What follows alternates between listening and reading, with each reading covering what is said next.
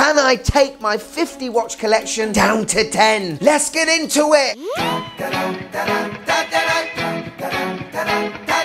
Yes, and welcome to the Mad Watch Collector Show. Today is my January 2024 State of the Collection show. Yes, my entire watch collection on show for you, minus the Casios. Save that for another show. Now, I've been putting off this show for some time now because A, I'm a little bit embarrassed of how big the collection has got, and B, this sort of show takes ages to film. These watches are there because I love them and at some point wanted to wear them. I've got way too many. So this is not going to be your usual state of the collection show. I am to try and take this watch collection and turn it into 10. Pretty impossible, but let's see how we go. Not only that, I'm gonna give you my wife's predictions on what she thought would be my top 10. So let's get on with it, shall we? Are you SOTC ready? Let's go. So, ladies and gentlemen, I give to you my current watch collection. Uh, I know, it's too many, isn't it? But anyway, let me go through these watches really quickly. I'm not going to give you deep specifications. I've done shows on probably every watch here. I think we've got to go with the Seikos first. That is the brand I have most watches from. First of all, my Seiko Flightmaster, a watch that I don't wear but wanted to buy. TGV made me do it. I do like the look of it, but it's also a little bit too busy for me. Definitely got a unique Seiko look to it, and I love it on this NDC strap. Next up, my 6139 vintage Pogue. It's circa 1973. It's an automatic chronograph, and the 6139 was the first automatic chronograph to be mass marketed back in 1969. Then comes my Mini Turtle, one of my favourite Seikos, but I just haven't been wearing it. It's a bit smaller than a regular turtle. I do love the Pepsi bezel and that dial. The Seiko 5 day date is a great bargain that isn't made anymore. I've really tried to wear as much as I can. I love the dial of this and its simplistic case. What about my Seiko Tortoise? This is one of my best Seikos for under 500 pounds. It has a sapphire glass, 200 meters of water resistance, 4R35. The only thing that lets it down is the bracelet, but we can swap that out easy enough. It's a great watch. But I have to say, it is not as good as my Landshark. Yeah, you'd probably say the predecessor to the Tortoise. This is an old Seiko 5, which has a little look of an SKX. If the SKX decided to go hiking for a couple of weeks, we've got a compass, as well as a great twisty bezel. This is one of my favourite watch pickups of last year. And what about my Seiko Arnie, my SNJ025? Absolutely love this watch for so many reasons. It's got Arnold Schwarzenegger all over it, and I love it. Then we come to the SRPK17, the 55th anniversary country of the Seiko 5 Sports. This is such a good looking watch and although it was limited edition, it wasn't massively pricey. But what about my Save the Ocean Samurai? This is a beautiful blue dial diver and I have to say if I was to ever come up with making my own dive watch, I would definitely have the knurling of this crown and the bezel. Lovely looking watch, very angular, quite wide. Then we've got to talk about my Seiko Willard, the SPB 153. Everything I think about in a Seiko is in this watch. The asymmetrical shape, the cushion style, the beautifully simplistic dial that just looks awesome. This to me is Seiko. This watch is going nowhere. Then we've got this great Seiko chronograph that was gifted to me by a subscriber. Cheers Ian. Good quartz movement, beautiful dial. Here's my SKX013, one of the first automatic watches I ever bought. I love this watch and I'll never get rid of it. And the final Seiko is my latest acquisition, the SPB411 Navigator. When I got this watch in for review, I had to have it. This is a reissue of the first Seiko with a twisty bezel and a GMT function. Beautiful size, beautiful dial, beautiful bracelet. It's a tad expensive for what it is with the 6R35 movement, but if you want these watches, you gotta pay the money. Anyway, let's move on and let me show you my Vertex Trio, the manual wind M100, my favourite field watch in the collection by a mile. Then my M60 Aqua Lion, beautiful tooly capable diver. I'd take any day over a Seamaster 300. And to finish off, my favourite watch I own, the MP45, a mono pusher chronograph that was first commissioned in 1945. It was never actually made because the war was over. Don at Vertex brought it to life and just look at it. Talking of military watches, CWC. Yes, the Cabot Watch Company. The SBS Diver. This is my only stealthy black watch other than all my Casios. Here is the G10, which is a fantastic little field watch that was issued in their thousands in the 80s. Then we're to talk about this Quartz Falcon. Lovely asymmetrical case, beautifully legible. And finally, the reissue of the 1980 Royal Navy Diver, the last automatic diver issued to the Royal Navy. And it is just a gorgeous watch. Very proud of my CWC collection.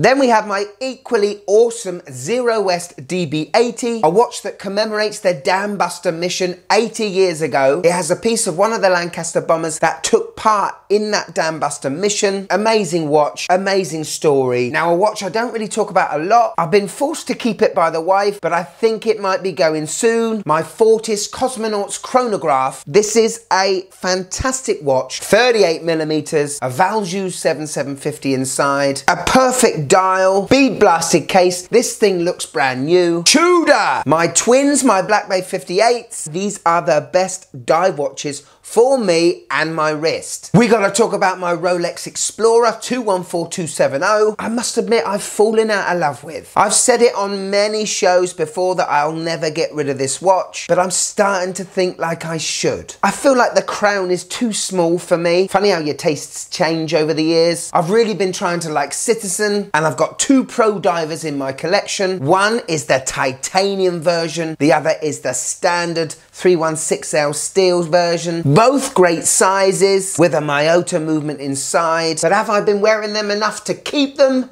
No! Probably right.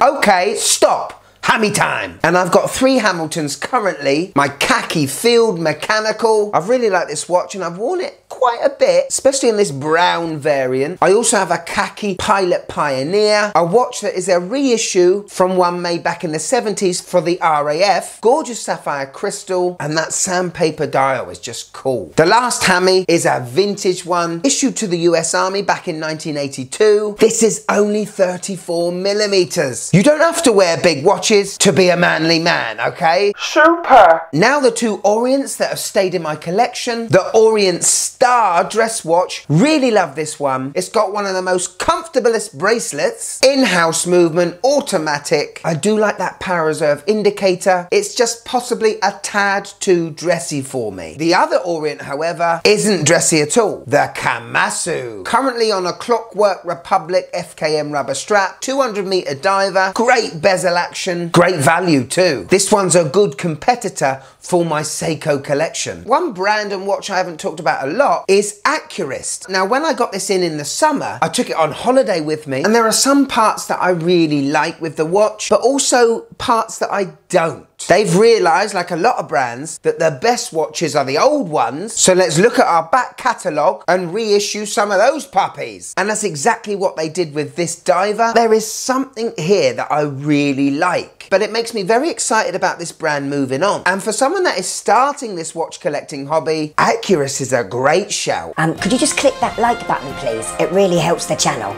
Thank you. And now finally we come on to my micro brands or my independent watchmakers. You get a lot for your money with these watches, as you've seen on a recent show of mine, with brands such as Duckworth Prestex with their Rivington GMT, the RZE Endeavour, which is a great titanium diver, the Man 36 triple calendar, which I do wear quite often, I must admit. Beautifully made watch. The Heron Mariner, which not only is a beautiful watch, but also they've spent a lot of time and money, giving the case and bracelet this scratch resistantness. Next up is the Momentum Seaquartz 30, first made in the 70s and was made by Chronosport, where one of the owners now owns a brand called Momentum, and they've decided to bring this watch back. This watch definitely has a look of a CWC RN diver. This one is very affordable. Do like that touch of orange.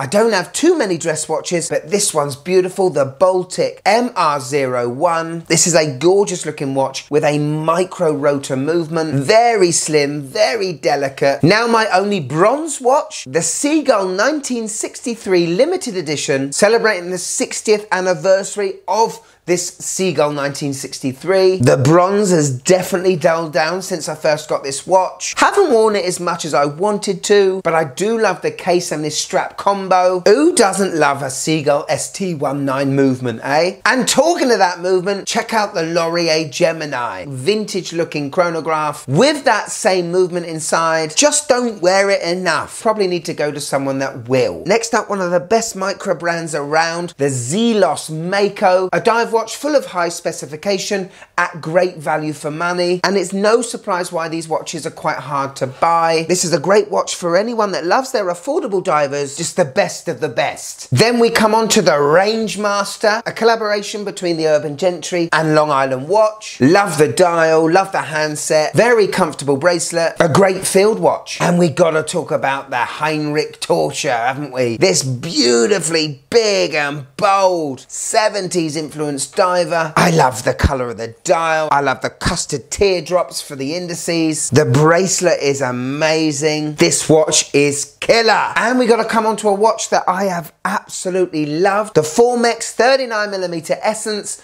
with the malachite dial. This watch has given me a newfound enthusiasm and love for Swiss watchmaking. Big up the Swiss!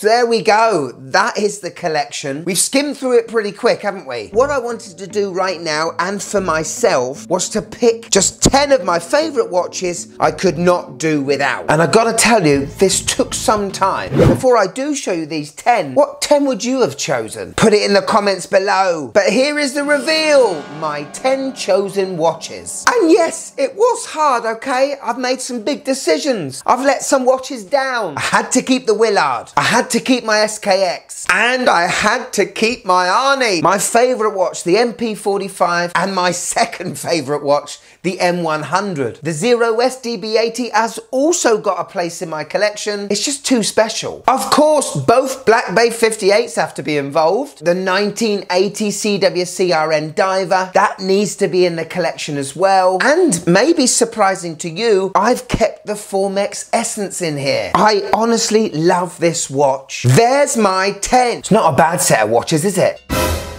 So we come to the wife segment and I asked her to look at all the watches and pick the 10 she thought I would want to keep the most. And here is her 10 picks for me. She's kept the Black Bay 58s. We've got the Zero West DB80. We've got the MP45. We've got the 1980 CWC Diver. We've got the Willard. We've got the SKX and we've got the Formex. She's done pretty well. So finally, this is my wife's favourite 10 watches from the whole collection. Take a look at this. And this isn't a bad 10 either, is it? We've got the Arnie. We've got the black Black Bay 58. We've got the Rolex Explorer. We've also got the Hamilton Khaki Field Mechanical. We've also got the Fortis Cosmonauts Chronograph. She doesn't want me to get rid of that watch.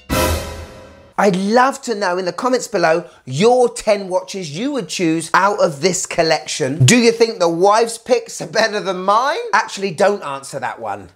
Could leave me a little bit annoyed. Launching very soon is the MWC Watch Shop, where you'll see some of these watches for sale. It's time to purge the collection because I am serious when I say I need to cut this collection down. I know there are going to be new watches that I'm going to want. So if not for anything, I've got to make room. You know, there might be somewhere out there a citizen I want. Nah. All right, what about a Tissot? Nah. I know there's definitely going to be a watch that is added to this collection very soon, and it's the one I've been wearing on my wrist the whole time. Oh, yes, the Mad Watch Collector Mad Hacker Field Watch in collaboration with Radcliffe Watches. I've got the prototypes in and I absolutely love it. More on that very soon. If you want to support the Mad Watch Collector a little bit more, go on, click there, join. You want merch? Get on down in the description below. But if I've got you for a few more minutes,